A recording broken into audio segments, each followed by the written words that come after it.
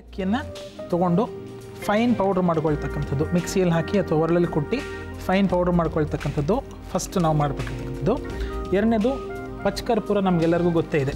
So ಪಚ್ಕರ್ಪೂರವನ್ನು ಸುಮಾರು ಎರಡರಿಂದ ಮೂರು ಚಮಚದಷ್ಟು ಪಚ್ಕರ್ಪೂರವನ್ನು ಫೈನ್ ಪೇಸ್ಟ್ ಅಥವಾ ಫೈನ್ ಪೌಡ್ರ್ ಮಾಡ್ಕೊಳ್ತಕ್ಕಂಥದ್ದು.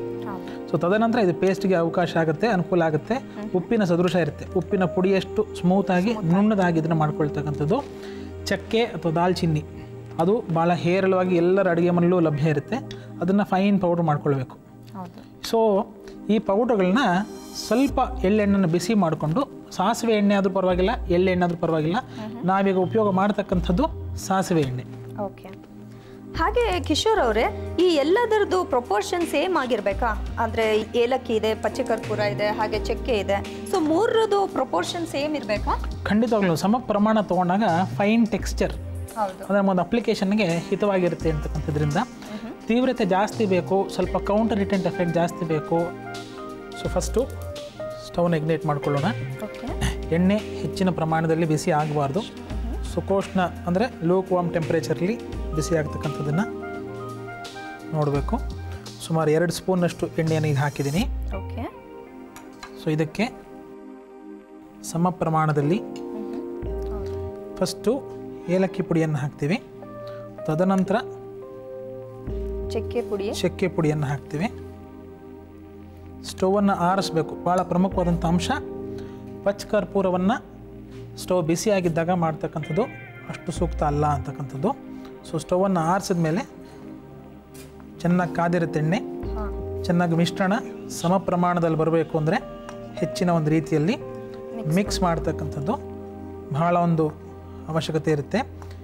ಒಂದು ಪ್ರಮುಖವಾದಂಥ ಅಂಶ ಏನು ಅಂದರೆ ಹೆಚ್ಚು ಬಿಸಿ ಆಗಬಾರ್ದು.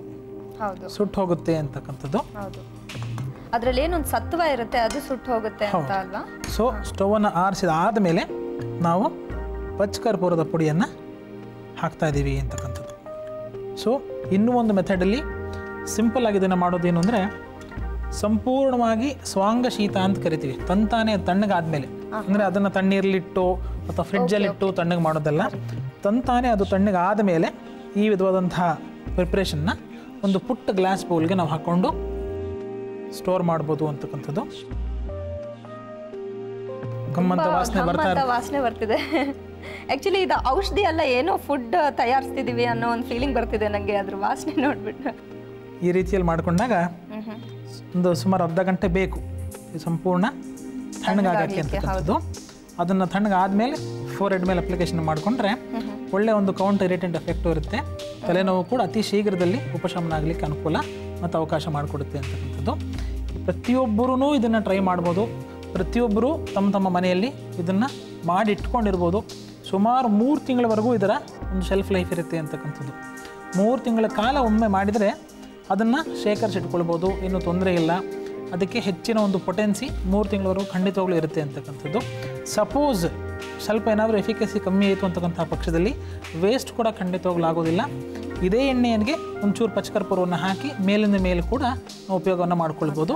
ಪಚ್ಕರ್ಪೂರ ಮಾತ್ರ ಒಂದು ವೇರಿಯಬಲ್ ಸೊ ಈಗ ಒಂದು ಪ್ರಮಾಣ ಹಾಕಿದ್ದೀವಿ. ಬೇಕಾದರೆ ಅದಕ್ಕೆ ಹೆಚ್ಚಿನ ಪ್ರಮಾಣದಲ್ಲಿ ಕೂಡ ಹಾಕ್ಕೊಳ್ಬೋದು.